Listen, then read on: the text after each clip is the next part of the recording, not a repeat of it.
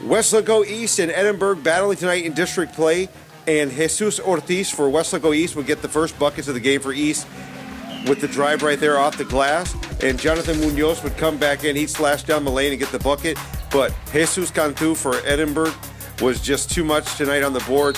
He'd put back this one right there. He'd get fouled and go to the line. Antoine Woodard, the freshman, he'd get the lay-in right here. And these young cats were rolling early. But Jesus Ortiz would find John Salazar for the easy lay-in. But Antoine Woodard would put Edinburg ahead right there with this lay-in. He'd get fouled, go to the line.